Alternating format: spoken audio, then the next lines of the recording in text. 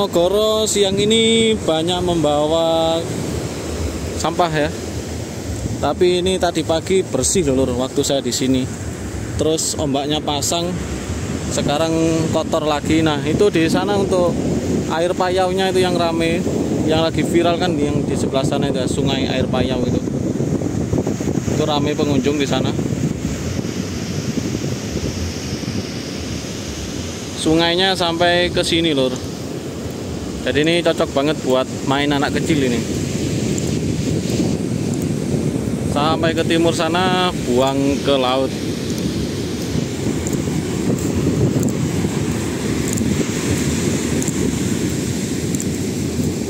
Wah ini sayuran juga ada. Samotrap nemu timun nih. Degan juga ada. Sudah dipangan. Iku timune anu paling bekase larung saji.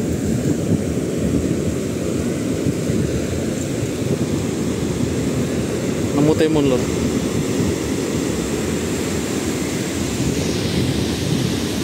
Ini saya sambil cari resek. Barangkali nemu harta karun ya.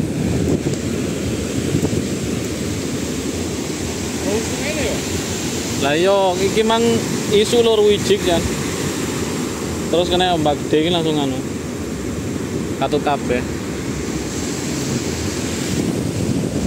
Tuh sungainya yang buat mainan anak kecil-kecil ini cocok banget ini. Sungai dangkal. Buat klinyut-klinyutan pakai ban juga cocok banget. Mulai dari ujung sana. Banyak cewek-ceweknya juga loh di sini loh. Weh. Enak. Bawa anak kecil nggak usah mandi di pantai mandi di muara ini aja.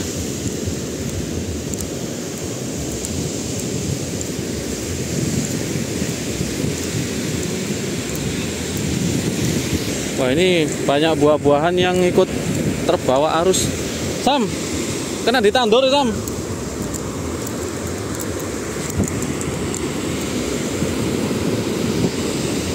Sam nemu nemu tunas kelapa.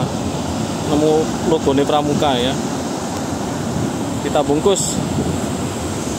Sambil sambil leker-leker resek.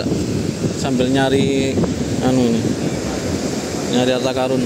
Ku lo kates lo goa. Ayo.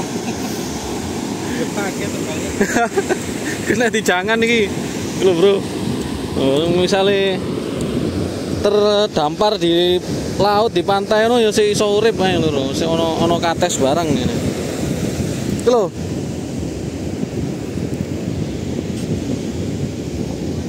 jadi seumpama terdam, terdampar gitu ya di pulau terpencil banyak makanan yang kelinyut Hah?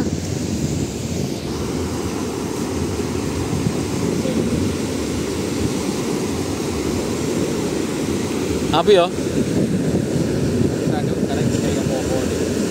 Iya bahan nih.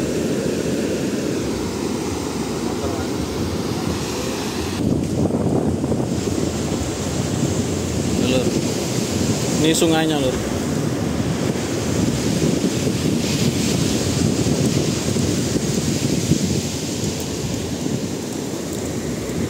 Ini jodolannya sampai ke laut ini. Nah, ini ombaknya. Ombaknya bertempur dengan aliran air sungai.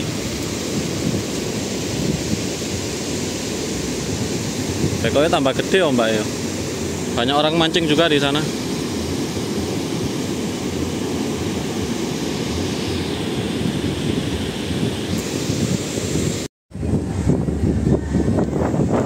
Wah, oh, maaf ya loh.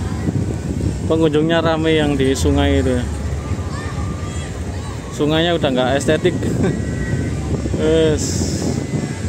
Yang kemarin viralnya kan masih estetika, sekarang sudah nggak estetik lagi.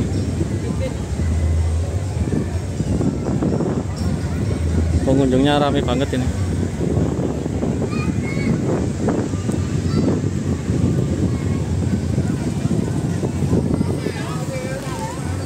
Ini hasil memulung. Cari kayu sama batu buat aquascape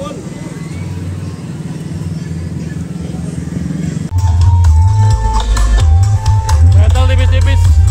Black ban putar jinglenya king radiator.